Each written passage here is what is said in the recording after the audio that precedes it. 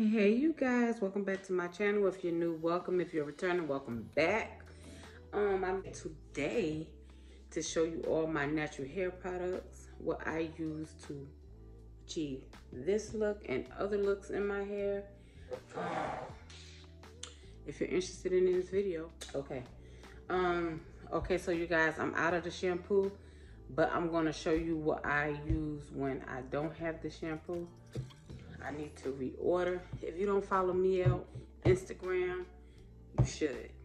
Um, I think they have the semi-annual $6 sale. Um, I think it's coming up really, really soon. Like you get all these full size products for $6, you guys. And this is good. This is, a, I highly recommend these products. Okay, so today I didn't wash my hair. I just wet it. Um, I just wet it spray bottle. Just what is this curly? Okay, first I use this co-wash detangling shampoo. Well, not shampoo, co-wash. It's really good, you guys. Will have your hair super, super soft. And after that, I put the conditioner in it. With this, I usually let this sit in my hair for about 15 to 20 minutes because I find something to do while my hair is um, conditioning. And um, I'll wash it out, like I said, in about 20, after 20 minutes. And you guys, this stuff have my hair so, so soft. Like, I could just comb right through it. And usually, I cannot just comb through my hair, okay? Because my hair is super thick. So, yeah, this helps me a million. This is great. I highly recommend this. Okay, and then after I do all of that, I put the leave-in conditioner in. And that, this is that right here. And you guys, this is also good. It smells so, so good. Okay, like I said today, I did not wash my hair today. I just wet it.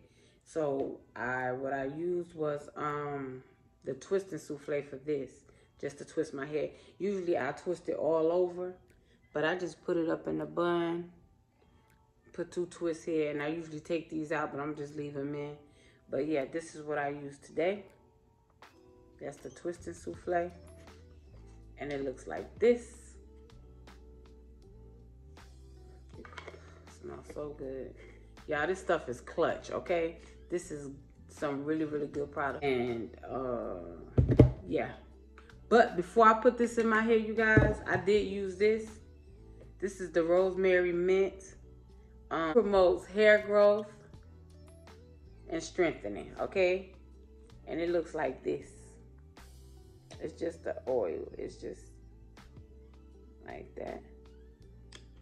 And I just part my hand forward and put that put it down in between, you know. Okay. Sorry, I had a message on my phone. So yeah, put that in there, guys. It makes your scalp feel so good and I just you know, that's what I do. And this here, this is the uh, the curl. Hold on. The curl sculpting cream.